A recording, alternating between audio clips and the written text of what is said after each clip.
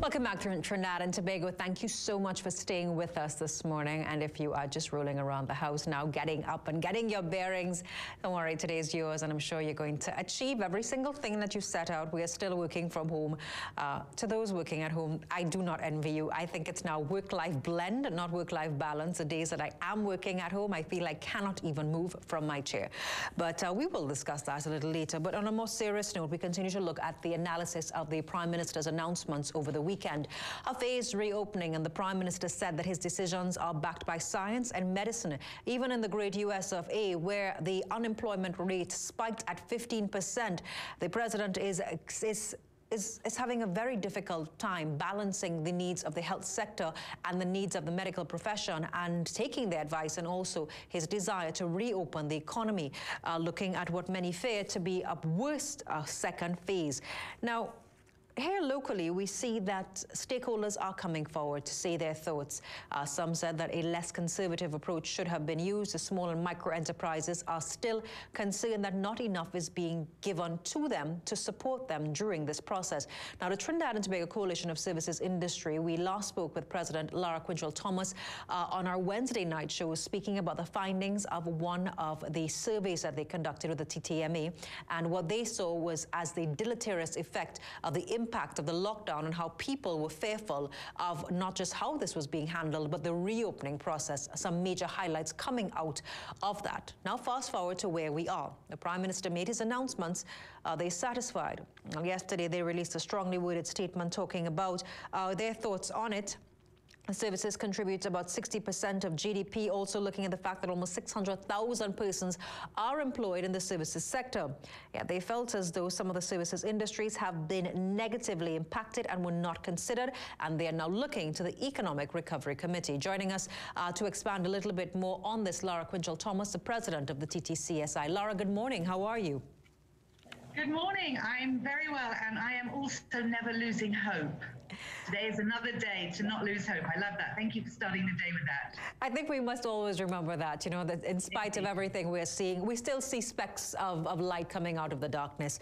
But I could not agree more. You know, speaking about specks of light, uh, TTCSI issued a strongly worded release yesterday. Is it that you saw no light or no specks of light on what took place on Saturday? Well, I, I, don't think there was absolutely no light at all. And I think it's important to commend the government, first of all, for their approach to this entire exercise. They certainly have been consulting, they've taken a measured approach. As you indicated, they are referring to the medical science, they're listening to the experts. But where we felt there are some very clear gaps is really in treating with the services sector, as we have said. It was interesting to note that in the phased reopening plan that the Prime Minister laid out on Saturday, you know, they spoke to manufacturing, they spoke to doubles vendors, and yet a whole entire sector of our, our working population was completely left out. And many of those are very low risk. And I think that's really where we feel that more attention needs to be paid certainly we understand that some sectors, tourism being an obvious and, and perhaps large example, the creative sector are going to need some special focus and special attention paid. But there are literally hundreds of thousands of employees, business owners in the services sector that are just completely not on this roadmap. Now, I'd like to give the Prime Minister and the government the benefit of the doubt and think perhaps that maybe we're in there somewhere and it just was not articulated. But we really do not have any clarity around what phase would you, for example, include professional services, accounting firms, law firms, um, architects, engineers, consultants, recruitment agencies? Where are we in this reopening? Most of those types of professional service firms are very low, low risk, low, um, low hazard, and so we, we were not mentioned. Um, I know there is concern in the sort of health and wellness sector in terms of barbershops and nail salons and so on. But whilst we consider them non-essential, we do um, we do really want to stress the point that these are people's livelihoods and there are jobs attached. So we were hoping to see, perhaps in phase three, a, a proper plan for how we could reopen these small types of small business. So, your, so, so just just a clarity, your issue is not with the approach, the phased approach. You because I was going to ask, is the government has made it clear that this is all not cast in stone, that they are going to constantly be uh, reviewing the advice from medical professionals. They'll be looking at the data. Uh, the prime minister says he's hopefully optimistic. He does not. He hopes that that is not misplaced. Um, and I was going to ask if it, if you do not agree with that approach, the, the phased reopening and the advice from the medical professionals. No, I, I think the phased approach is the smart one. And this, I mean, although if you look at it, the phases are fairly short. Mm-hmm. So I'm not clear what's going to happen in terms of risk mitigation strategies and guidelines and economic stimulus. What are some of the things that the government's going to put in place to get us from phase one to phase two to phase three? Our concern, though, really is more that so many businesses were excluded from every single phase. We're not mentioned at all, they're not on there. So the phased approach I have no issue with, and we're comfortable with the government taking it one step at a time. It's really the fact that so many businesses were omitted entirely. And so we don't know, are we, you know, there with uh, the, the malls and the beaches, or are we there with the cinemas? There's really a lot of lack of clarity. But the actual approach itself, I, I don't think there's any real concern. Once we understand how we move from one phase to the other in terms of as I said, economic stimulus, risk mitigation, um, availability of PPE and training, those sorts of things. Now, you, you, called on the Economic Recovery Committee. In fact, it, it, was stated in the last line of your release. What are you hoping to hear from them? Because a lot of business owners, because what I'm getting from you, it is just the lack of clarity. Like, tell me what is happening. So, what, yeah. what are you hoping to hear from the Economic Recovery Committee? Well, actually, we did yesterday consult with them because, like many of the um, BSOs, we have had connections to various of the subcommittees that have been put together under the National Economic Recovery Committee. So, yesterday, we did have a consultation with the Services Sector Subcommittee. We went through um, each of the different professional groups and we were able to identify what we consider low, medium, and high risk in terms particularly of the spread of physical distancing and some of the other mitigation factors that have to be put in place. And so we were able to then give that feedback to them and then help them to understand where we felt each category, each group of services firms could fall in what phase. So what we're trying to do is to guide the, the Economic Recovery Committee, which hopefully then by extension will advise the Prime Minister and, and the government that in listing all of the different services sector businesses, this is where we feel they fall in. This is where we see that they're assessing the level of risk that they may have and some of the measures that we hope the government would consider to support their reopening. Because understand that people who run a small business, it's not just the employees that they may have had to let go or send home, it's also they have no revenue. Yeah. So we really need to get small businesses micro businesses, you know, one man and one employee, one lady and two hairdressers, you know, back out to work safely, proper guidelines, as we've been saying. But we can't, they're, they're not mentioned in any way. We don't know where they fall in this schedule. But, and and that's really, I think, the real pain is being felt at that end of the stick. You know, you talk about the stimulus package, and the government has given over four, well, just 400 million alone in a salary grant, uh, and millions of, uh, you know, in terms of food cards, food grants, the food assistance program. Is it that none of these persons were able to access the loss of income funds made available through the stimulus package? Well, as far as I know, a number of people, I mean, my own organisation, we've been helping some staff to access the salary relief grant. But we're really looking at it from the business owner point of view rather than the employee point of view, the social. I appreciate that the government has done quite a bit in terms of social support and, as you say, the food hampers and food cards and so on. But what we really need to do is get people back to get their businesses open.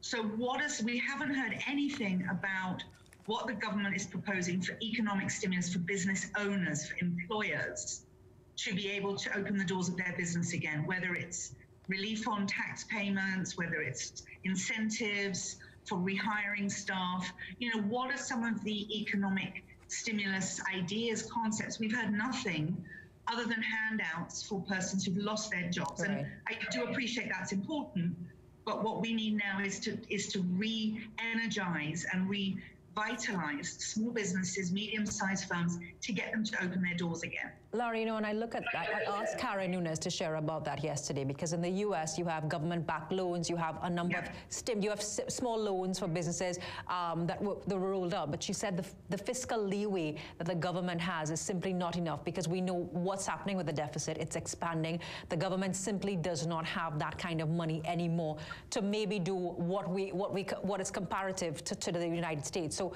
when you talk about a stimulus package, give me two things that you think the government can do without negatively impacting the future of this country with further debt. Right. So just to be very clear, and I had said this the last time I was on your show, we're not necessarily asking the government to give anybody money, any business owners money. What we are asking for is relief in terms of waiving penalties on late tax payments, um, providing a, a brief window of tax amnesty perhaps on business levy and green fund. So just to ease the financial burden on small business, we're not asking the government to give us any right. fiscal incentives, but to maybe to build a package of economic stimulus that encourages us to reopen, some some temporary uh, deferment or amnesty on tax payments, incentives, tax incentives to encourage you to reopen, um, to begin exporting and so on. So it's not a question of putting money out, mm-hmm. but it's a question of helping us to not have to put too much money out at the same time. You know, in the United States, which where we see unemployment has gone to a peak of 15% yeah, after yeah, after the after the Donald Trump administration, taking politics aside, you, have seen where the US stock market was. Uh, they were doing relatively well. The US economy was going to, let me not use this cliche, making America great again. Um, but even now, as businesses and states are battling with this balance of health versus economics, um, there is a public health experts are warning that the a return to pre-virus norms and a return and a reopening too soon can see a second wave which can be even worse. And with the flu season imminent and expected to happen uh, very soon you know, you know if the prime minister comes and says let's say in the next month the next six weeks is, is that what you're hoping to hear I think it's very important that we are mindful of the context. So, our economy was struggling even before COVID 19, as we all know, with the, the fall in oil prices. So, we were not in the same situation as the United States. So, businesses have been struggling, and then you've put this on top of it. And now, of course, we're going into hurricane season, which has ramifications throughout the region.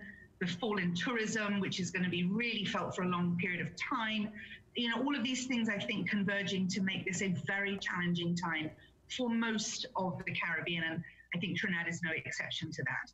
So I, we're very mindful of the context, and we don't want to be unreasonable. We're not asking for massive bailouts or anything like that. And I also hear you about not rushing back to work and then we have a second wave mm-hmm. and then you know hundreds more people die and we have that that is not also what we're suggesting and we've been very clear in saying that we would like the government and the experts to provide guidance and training to small business owners to enable them to reopen safely, practice physical distancing, so on. And very interesting, you know, yesterday, and you mentioned it earlier, that Doubles and, and KFC were reopened.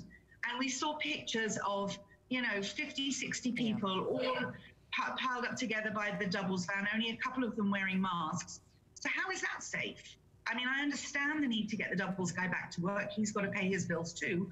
But what are we doing to make sure it's done safely? So it feels, in a way, a, a bit like um, you know the balance is not even. If I am running a small accounting firm with five or six employees, I can probably be far safer because I have fewer visitors. I'm not dealing with the public in that same way than a doubles vendor. Yeah. Uh, you know, there, there seems to be some disparity. Well, there is some disparity in our opinion, and so I think perhaps highlighting the businesses that can be safely reopened, let them go first, and then have training and proper support and stimulus for those who may take a little longer but it's really to almost drill down every single sector. Here's where you are, here's where your risk is, here's what we can do, and this is then a, a date for you to be reopened. We, we, want a sense of a plan. Now, I know. And not 12 dozen things randomly in a, in a phased approach. Before we wrap this, let me get this. I know we have about a minute again. You said yesterday you met with the recovery committee. Um, are you confident that this recovery committee is really the light that we talk about uh, to the end of the tunnel or to this, or to to, to uh, I, I guess, a less harmful or less, I guess, uncomfortable new normal? Yeah, well, I'm I'm very confident in the sense that the people who've been appointed to this committee, you know, I'm sure you've spoken with many of them over the last few weeks, are very competent. They have been very open to taking feedback from various groups, including the TTCSI. They have welcomed and invited us to be part of the conversation, which was really a concern that we had at the very beginning. Um, as you know, we had concerns about the lack of women on the committee, the lack of CSOs. But overall, I think the committee's been has handled it very well. I know that they've got some very solid recommendations. The challenge is whether the government listens and implements.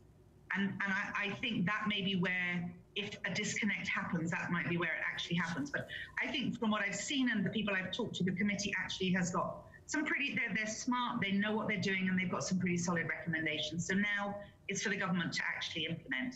Laura, I do want to thank you very much uh, speaking to us in your capacity as president of the TTCSI. And like you, uh, we are not losing hope. Hopefully, we can all get out of this better and uh, to see a new day with a new normal. Thank Indeed. you so much. Have a wonderful My day. pleasure. Thank you all.